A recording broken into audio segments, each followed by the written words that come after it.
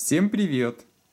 По заказу интернет-магазина F-магазин проведу видеообзор воблера от японской компании Skagit Designs модель Bottom Trank. Приманка относится к классу Crank, имеет длину 36 мм, вес у ней 4,5 грамма, и это тот случай, когда производитель очень точно указывает вес. К примеру, весы у меня показали 4,54 грамма. Приманка имеет отрицательную плавучесть и достаточно быстро тонет.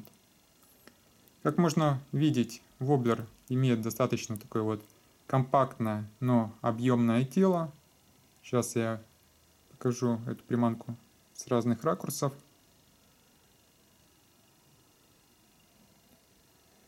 Воблер оснащен достаточно такой вот объемной лопаткой она короткая, длина этой лопатки всего лишь 9 мм, но широкая.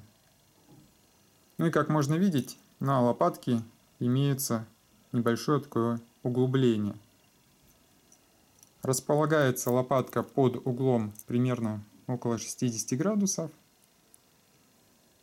Ну и воблер способен заглубляться где-то около до 1 метра.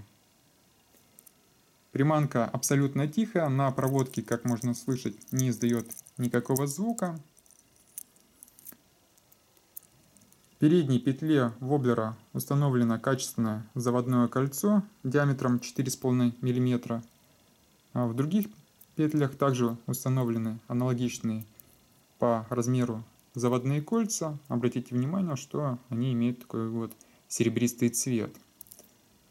Приманка оснащена двумя некрупными тройниками от фирмы Ovner, соответствующая наклейка, указывающая о том, что тройники овнеровские имеются на упаковке, которой поставляется приманка.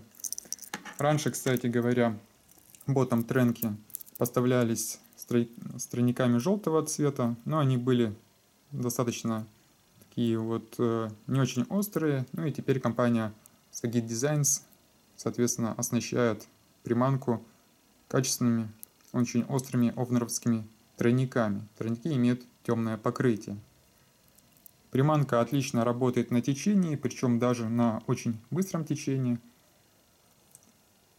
Производилась она в первую очередь, конечно же, для ловли разнообразной лососевой рыбы, но также может быть использована при ловле окуня, белого хищника, ну и другой рыбы.